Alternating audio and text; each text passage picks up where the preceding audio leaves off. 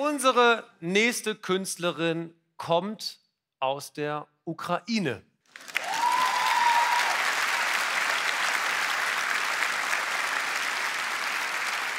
Ihren allerersten Auftritt tatsächlich hatte sie in einer Comedy-Show des heutigen Präsidenten der Ukraine, Zelensky. Und heute ist sie hier mit einem frenetischen Applaus. Olga Stetsenko!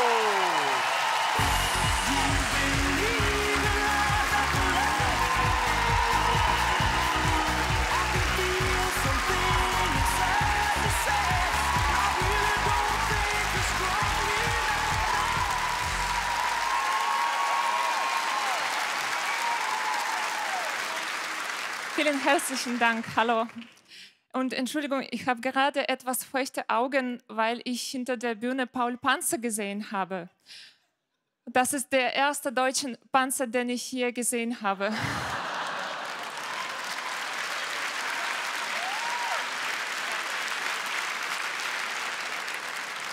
Heiße Olga, ich komme aus der Ukraine und ich musste meine Stadt verlassen, weil wir seit dem April kein Leitungswasser haben und jeden Tag Raketenangriffe.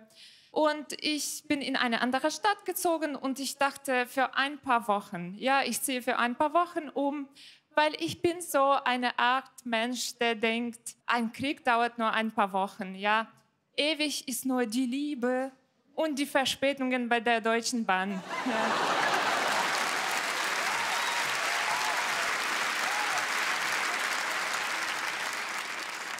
Das ist mein zweiter Stand-up auf Deutsch. Ja, und ich bin wirklich sehr nervös. Aber ich denke mir, ach komm, Ola, unlustiger als Deutsche kann ich auch nicht sein.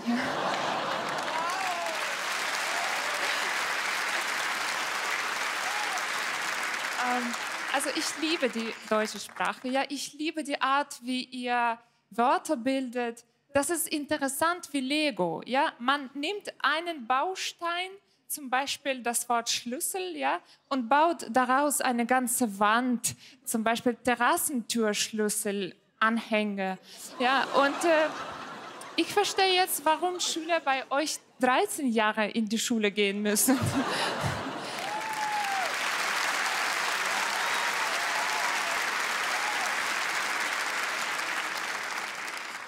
verstehe auch, warum es so lange gedauert hat, bis die Ukraine Militärhilfe von Deutschland bekommen hat. Ja, weil äh, es ist Bürokratie. Ja, eine Haubitze wird schneller gebaut als ein Satz auf Deutsch, oder? habt ihr gewusst, dass ihr schon fünf Millionen Wörter habt? Habt ihr keinen Container für Altwörter? äh, wisst ihr, wie viele neue Wörter wir seit dem Kriegsanfang haben? Minus eins. Das Wort Brudervolk gibt es bei uns nicht mehr. Ja, kein Wunder, dass alles Russische mich jetzt super nervt. Also der russische Präsident, russische Musik, Elon Musk. Ähm, als ich 2005 nach Deutschland das erste Mal gekommen bin, wisst ihr, was mich ganz tief bewundert hat? Eine Brotschneidemaschine. Wieder so ein Wort. Die gab es in jeder Familie, also wirklich. Äh, und jeden Morgen beim Frühstückszubereitung hatte ich äh, die Gefahr, mir die Finger abzuschneiden. Dafür hatten wir aber alle perfekt gleiche Brotstücke. Und äh, wäre es nicht sinnvoller, etwas zu erfinden, was das Leben wirklich leichter macht? Zum Beispiel eine Butterschmiermaschine, ich weiß nicht. Wie schafft ihr es, kalte Butter aufs Brot zu schmieren? Ich meine, die ist so hart. Ja, es ist einfacher, das Brot auf die Butter zu schmieren. Und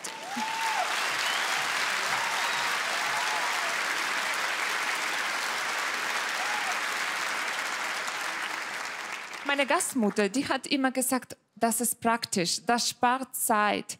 Okay, aber wo ist die Logik? Ja, ihr benutzt Geräte, die äh, wirklich fünf Minuten Zeit sparen, aber auch die, die den halben Tag beanspruchen, zum Beispiel den Fahrkartenautomaten. Ja. Ich bin auch äh, in den äh, 90er Jahren in der Ukraine aufgewachsen und es waren für mich auch schwierige Zeiten. Meine Mutter, als ich Teenager war, hat mir meine Mutter immer gesagt, schminke dir die Lippen, du bist doch ein Mädchen. Und seitdem habe ich das Gefühl, ich bin nicht weiblich genug.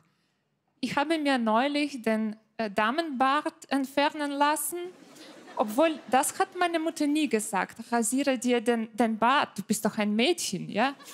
Und äh, in Deutschland kann man so einen Satz nie hören, denn hier kann man sogar sein Geschlecht selbst wählen.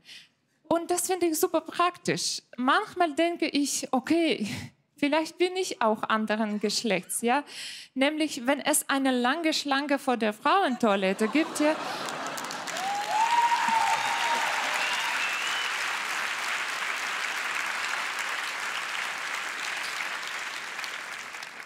und das Herrenwitz sehr frei ist.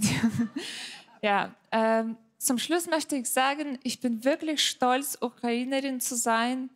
Äh, ein kurzes Beispiel. Wir haben in drei Tagen, also wir, das heißt einfache Leute, wir haben in drei Tagen äh, 20 Millionen Euro für Drohnen gesammelt. Und das ist wirklich bewundernswert. Aber wenn man versucht, äh, Geld für das Geburtstagsgeschenk einer Kollegin zu sammeln, ja, das kann ewig dauern. Ihr seid super. Ihr seid super geil. Olga Stetsenko. War's für die Olga. Schön, dass du da bist. Wir feiern das sehr. Vielen, vielen Dank eine wichtige Sache, dass wir das nicht missverstehen. Du bist nicht aus der Ukraine geflüchtet und hier in Deutschland in Sicherheit. Du hast dich dazu entschieden, in der Ukraine zu bleiben und bist eigens für diese Veranstaltung aus der Ukraine gekommen. Ist das richtig? Genau. Und weil wir auch keinen H&M-Shop in der Ukraine haben. Wie darf ich mir das vorstellen? Ich habe nämlich wirklich keine Ahnung. Dieses Hin- und Herreisen, machst du das mit dem Flieger, machst du das mit dem Auto? Wie machst du das? Äh, mit dem Bus, mit dem Bus, mit dem Flieger. Ich komme zuerst an, dann kommt in einem Tag mein Koffer an. kompliziert. Wir freuen uns sehr, dass du da bist, aber vielleicht noch einmal für uns, damit wir den Alltag auch wirklich von dir beschrieben bekommen. Wie gefährlich ist dein Alltag mit deiner Familie gerade in der Ukraine? Ähm, weil ich mit meinem Mann lebe, also von daher, nein, äh, also mein, äh, mein Alltag ist jetzt ganz sicher. Ja, also ich bin in einer Stadt in der Westukraine, aber in meiner Heimatstadt ist wirklich gefährlich. So kann ich da nicht mehr bleiben. Wir freuen uns sehr, dass du hier bist. Und ich habe eine Frage für uns alle. Kommst du denn wieder? Ja, klar. was, hast du dir, was hast du dir vorgenommen für das Jahr? Also, was ich mir vorgenommen habe, Ah. Daniel, entschuldige, entschuldige. Ja. Ja. Ich, mach das schon, ich mach das schon. Ja, okay. Der Berdi hat mich geschickt. Ja. Pass auf, okay. ich mach das schon. Freunde, oh Gott, sorry. Bin ich erstmal im Live-TV. Ist ja die Live, ist ja die Live gefallen. Hallo, sorry. Sorry, ich mach das hier. Oder hast du das kaputt gemacht, Jochen? Ich hab nicht, nee, ich bin nicht schuld. Ist du bist nicht schuld? Auf Jochen, gar keinen Fall. Das ist doch super. So, pass mal auf. Dann gucken wir doch mal. Was ist denn hier noch drin in dem Koffer?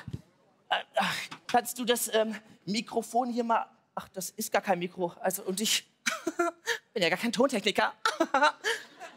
Olga, weißt du, was das hier ist in meiner Hand?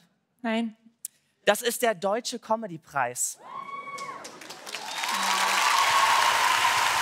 Die Stifter des Cologne Comedy Festivals, des Preises, ja, sagen, dass du, Olga Stitzenko, dieses Jahr den Deutschen Comedy-Preis 2022 in der Kategorie Sonderpreis für den bewegendsten Auftritt bekommst. Olga Stitzenko!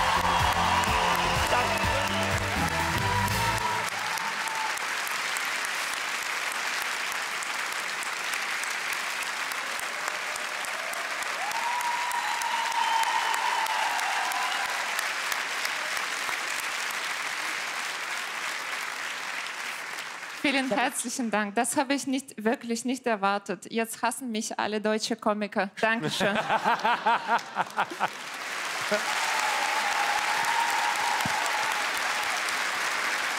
Olga Stetsenko und der neue Star am deutschen Comedy-Himmel, Nico Stang.